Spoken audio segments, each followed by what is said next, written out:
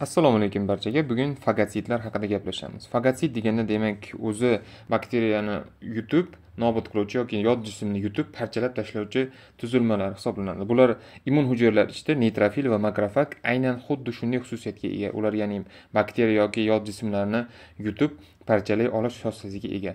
Killa ulardagi farqlar haqida gaplashib olamiz. Origin ya'ni kelib chiqishi. Neytrofillar ehm, gematopoetik stem celldan ya'ni ehm, dastlabki o'zak hujayradan hosil bo'ladi doimiy ravishda miyelopais hisobiga. Endi makrofaglar bo'lsa ikki xil. Monotsit holatida gematopoetik stem celldan hosil bo'ladi.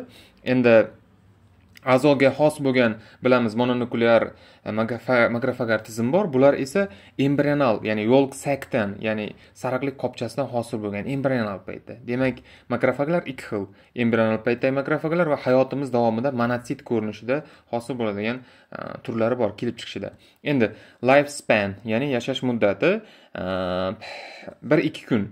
Neytrofillarni endi makrofaglar bo'lsa e, kunlab oy haftalab yashashi mumkin. E, hattoki ayrim a'zolardagi makrofaglar misol uchun langergans hujayralari e, terida bor.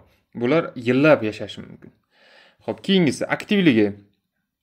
Neytrofillarni aktivligi judayam tez ularni ferment faolligi juda tez. Yutib e, yutgan fermentlar e, biror bir jismni masalan uchun mikrobni yutgandan keyin uni parchalashga sarflaydigan fermentlar hattoki o'zini sitoskeletini o'zini e, organellalarini ham parchalab tashlaydi. Shuni hisobiga neytrofillar yiringga aylanadi ya'ni o'lik leykositga aylanib ketishadi. Endi makrofaglar bo'lsa sekin faoliyat ko'rsatadi. Sababi nimada sababiki ular genni aktivlab undan oqsil sintezlaguncha va bu ferment sekin e, to'planib vezikulaga aylangunicha vaqt juda uzoq muddat. Shuning uchun e, makrofaglarda biroz sekin. Endi bakteriotsid ta'siri ya'ni bakteriyani yutib e, parchalash tezligi jihatdan nitrofillar juda faol hisoblanadi. Makrofaglar bo'lsa biroz sekinroq hisoblanadi ya'ni ferment faolligi biroz pastligi uchun. Ho'p endi neytrofillar faolligi juda yuqori bo'lgan taqdirda ham lekin bir martagina foydalana oladi xolos bu fermentlarni. Shuni hisobiga neytrofillar bakteriyalarni yutadi va o'zlari o'lik likositga aylanib ketishadi. Endi ba'zan makrofaglar e, to'qima qoldiqlari apoptotik hujayralar e, mikroblar undan tashqari begona yot jismlar misol uchun ko'mir yutamiz yoki asbest changlar yutamiz metall zarralari yutamiz. E, xuddi shularni ham yutib parchalaydi. Bu makrofaglar. No vazodilator neytrofilda juda kam lekin makrofagda gen faolligi ortgandan keyin no sintaza ferment faolligi ortib ketsa no juda yam ko'payib ketadi. Shuning uchun makrofaglar juda yam ko'p no ajratadi. Endi o'limi. Neytrofillar e, ko'proq o'sha immun javobdan keyin nobud bo'lishadi. Buni sababini o'tdik. Chunki buni mpo tizimi bor. Ya'ni erkin radikallar hosil qilib o'zini ham parchalab tashlaydi bakteriyaga qo'shib. Makrofagda esa deyarli bu sistema faoliyat ko'rsatmaydi. Chunki buni fermentlarni o'zi sekin asta sintezlaydi. Sitogenlar e, keyingisi demak sitogenlar sintezi.